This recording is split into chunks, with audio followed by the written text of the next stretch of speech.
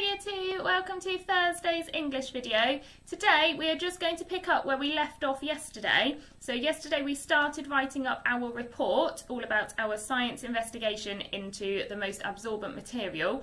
So we're just going to carry on from yesterday. Okay, here we go. So yesterday we completed this page and today we are going to move on to this page. So the first section is all about a fair test. Now we need to think about this word fair in terms of science. Okay, we might think about sharing something fairly in maths or equally like we've been doing in maths over the past few weeks or you might think about being fair as in taking turns. We might think about that in PSHE or when we're playing games. But in science, making something a fair test means something slightly different. I want you to pause the video and have a think. See if you can remember from before Christmas when we did some science investigations at school. What does a fair test mean in science? Okay, welcome back. So, in science, a fair test is all about treating the different materials fairly and making sure that one of them doesn't have an advantage over the others. Okay, so to make it a fair test, there are two things that we have to do. And it's normally things that we have to keep the same. So when you did your investigation, what did you have to keep the same for every material to make sure that it was fair? Pause the video and have a think. Okay, welcome back. So, hopefully you have thought of the same things as me. I thought that to keep it fair, you would have to use the same amount of water for each material. It wouldn't be fair if you used a tiny drop of water for one of the materials and a huge spillage for one of the other materials because you wouldn't be able to compare the two fabrics or the two materials if this amount of water wasn't the same. So we can put this into a sentence. To make it a fair test, you need to use. Now use is a word that lots of you find tricky. Use is a split spelling, you, use. It doesn't start with the letter Y. To make it a fair test, you need to use the same amount of water. That's a year two word. Let's make sure we spell that correctly. U or er. The same amount of water for each material. Full stop. It wouldn't, which is short for would not. So I'm going to use an apostrophe. There's would n apostrophe t. That apostrophe replaces the letter O in would not. It wouldn't be fair if you used a tiny drop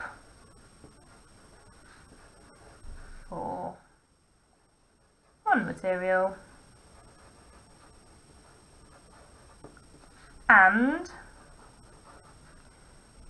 a huge spillage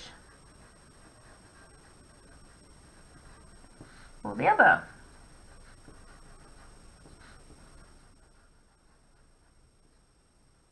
Stop. Okay, so that's the first way of making it a fair test. The second thing is all about the time. So pause the video and think, what do I mean about the time? What do we have to do to make it a fair test? Hello, welcome back. So we need to keep the time the same for every material. So the amount of time you spend rubbing the water with one material, you need to spend the same amount of time rubbing the water with the next material. It wouldn't be fair if you rubbed the first material for two seconds and the second material for 30 seconds because both materials wouldn't have the same opportunity or the same chance to soak up the water in the same way. So that's what I want you to write about. Okay, you can write about keeping the time the same. So pause the video and write that now. Welcome back. So you should have finished your fair test section and now we're going to move on to the conclusion. I've just folded mine so it fits on my table. So the conclusion means what we have concluded from our experiment or our investigation, what we have found out. At the beginning we made a prediction about which material would be the most absorbent or which material would be the best to use instead of kitchen roll for a kitchen cloth to mop up all those spillages you might have in the kitchen. So look back at your results to find out which one was the best. So in my investigation, I tested a towel, some fleece, sort of a fleecy jumper, a knitted jumper, and some pyjamas. And the towel mopped up all of the water. The fleece didn't mop any of it up. I was very surprised by that one. The fleece, it start, sort of started repelling the water. Um, a knitted jumper, soaked up a little bit, but not much, and the same with the pyjamas. The pyjamas were better than the jumper, but the towel was the best overall. So you would have chosen different materials to me, so your conclusion is going to be about your investigation, not my investigation. So, we can start our conclusion by writing in conclusion. It's a good way to start. In conclusion,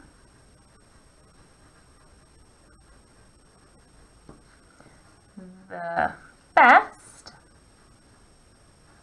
material to use for a kitchen. Cloth is, and then you're going to write the material from your investigation because and then you're going to write your reason. Why is that one the best material to use for a kitchen cloth?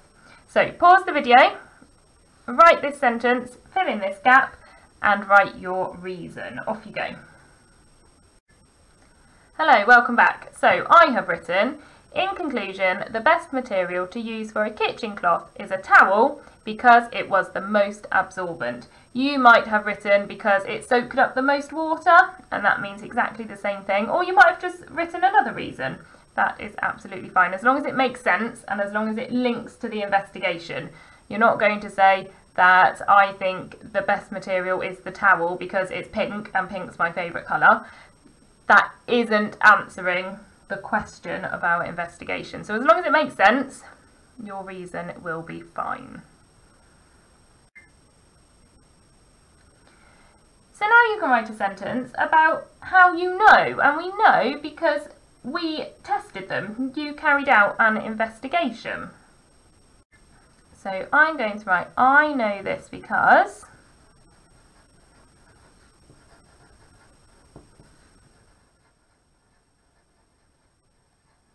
and then think about your reason. What was it about your investigation that told you that it was the most absorbent?